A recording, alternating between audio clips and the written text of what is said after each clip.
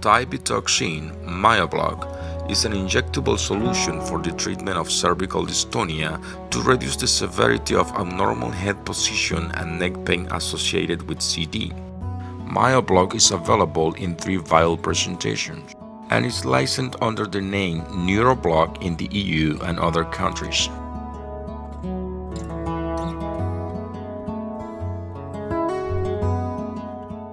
Myobloc comes in a 5,000 per cc uh, vial and also comes in a 10,000 per 2 cc vial.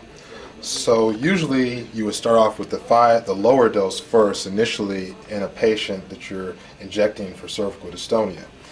You would also use 0.9% uh, normal saline and the important part here is using preservative-free normal saline because if the saline has preservatives in it, it could actually denature the protein of the botulinum toxin.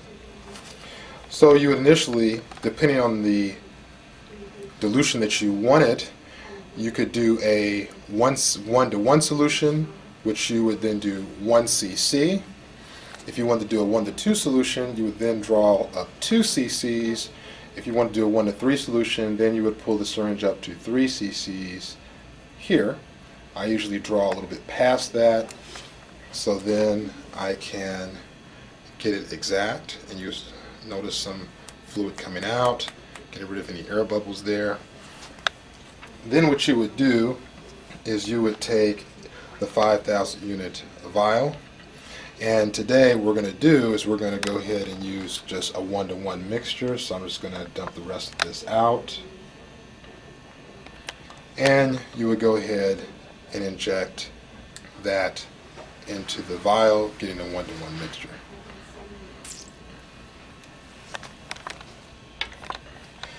Now, if you do a one-to-one -one mixture, in the desired dose is uh, the desired dose is 250 units. You would use 0. ml. If you want a uh, two, 2,500 units, you would then use 1 ml of normal saline. If it was undiluted, it would be 0.6 uh, mLs of the uh, block, would equal 2,500 units. So this is a uh, crude drawing of you will see the sternocleidomastoid muscle here. And typically there are two ways that you can do uh, the injection method for botulinum toxin you can either do it by palpation and feel.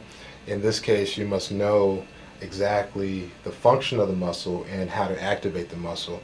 And also you want to palpate both sides to make sure that the uh, muscle is equal on both sides and one muscle is not more dystonic than the other. So the second method you could use is by EMG in which you know that there are several uh, different cervical dystonia pa patterns such as retrocollis, laterocollis, anterocollis.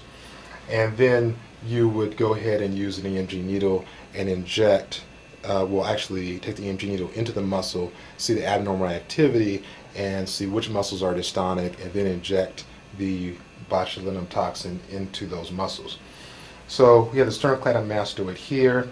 This can be evolved. His pattern was laterocollis.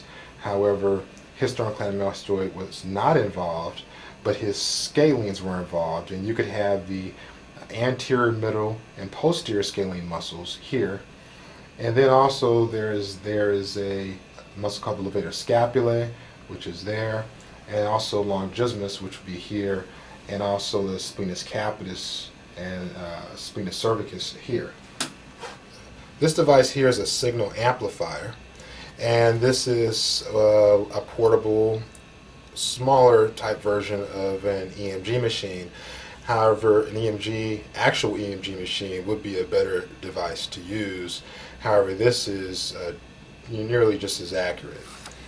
And so you have your EMG needle here okay?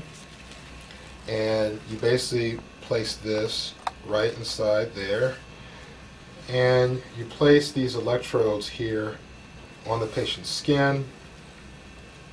This is the actual EMG uh, needle here you would just you already have the Myobloc drawn.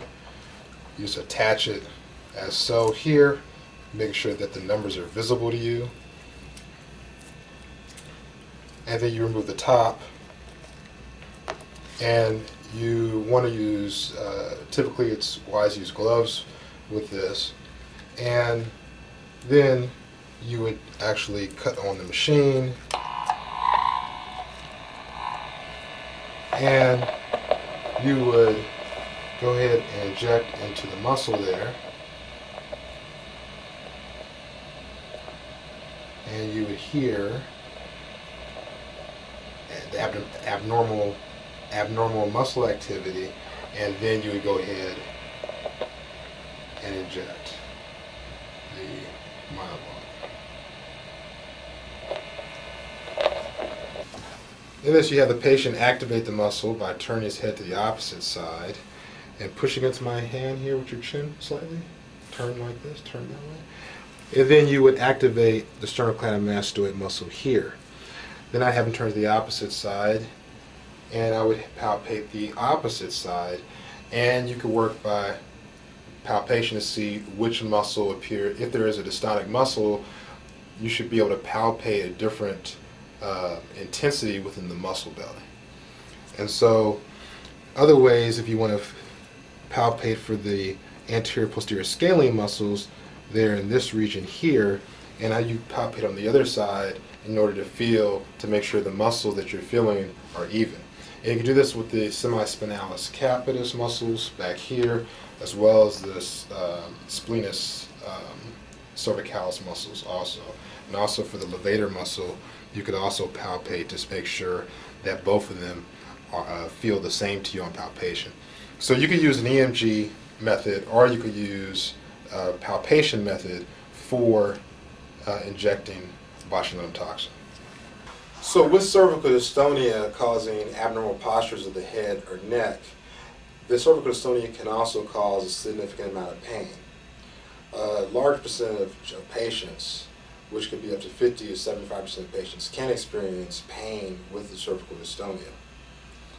Cervical dystonia can also be uh, multifactorial and multi-directional and involve uh, a complex group of muscles. So you may have actually two patterns instead of one. Once the patient is injected with botulinum toxin, it usually lasts three months. Some patients may have a shorter range of effect and it could last anywhere from 8 to 12 weeks.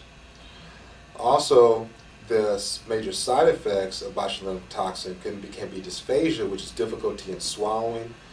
Uh, with Myobloc, there is more incidence of dry mouth and also uh, weakness of the muscles of the, uh, of the uh, weakness of the cervical, weakness of the cervical muscles.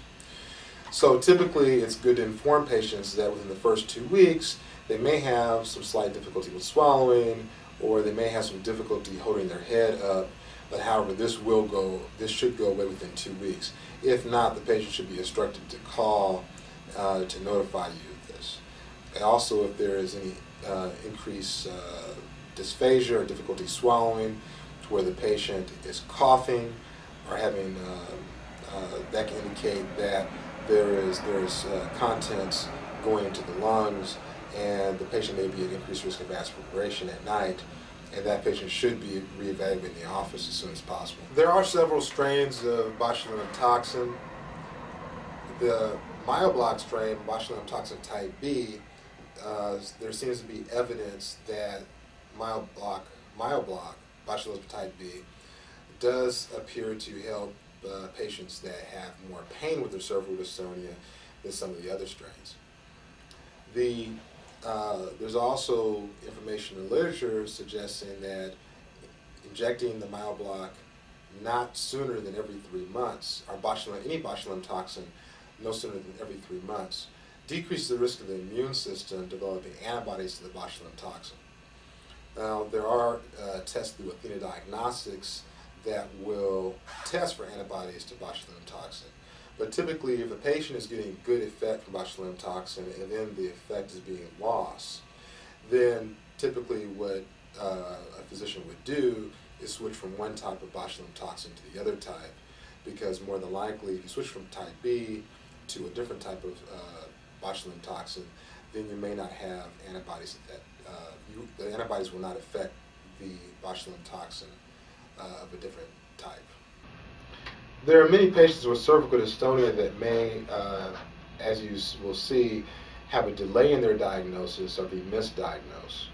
Some of this may be because of the different types of uh, cervical dystonia, not only with cervical dystonia patterns, but there may be different varieties of movements with cervical dystonia, such as tonic, which the muscle is fixed at a certain uh, in, in contraction, such as a uh, Charlie horse, which is a certain type of dystonia that everyone's more familiar with, or it may be clonic, where there is clonic contraction of the muscle uh, that may even represent a tremor.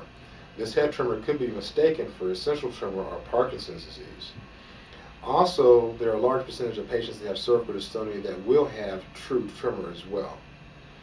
Also, they there could be a mixed type, which it uh, the dystonia can be tonic and clonic, to where there's tonic contraction and clonic contraction of the muscle.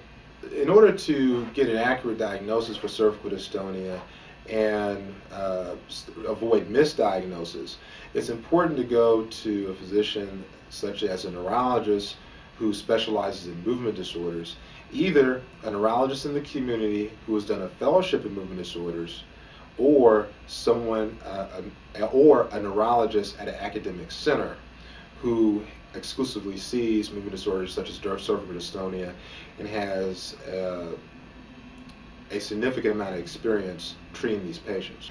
Also, quality of life is also important when uh, initially talking to patients with cervical dystonia because uh, the, the patient with cervical dystonia can be affected by depression, uh, social embarrassment, functional impairment, and negative body image.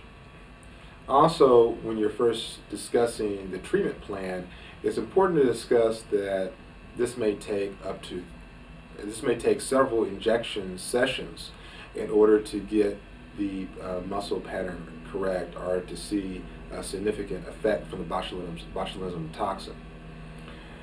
Uh, also start off at the lowest possible dose when you are injecting to see how the patient tolerates botulinum toxin, and then uh, slowly escalating the dose per muscle group as the patient responds to it, and having the patient also describe to you, uh, you know, uh, the pain and also the type of relief the patient is getting from the from the botulinum toxin. The mission of Tremor Action Network, acronym TAN, is to spread awareness of essential tremor and tremor related movement disorders by advocating for a cure through research.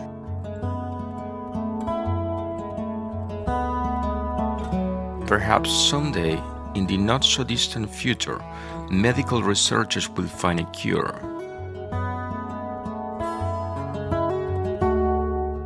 Current studies have suggested associations between essential tremor and Parkinson's disease and between essential tremor and dystonia.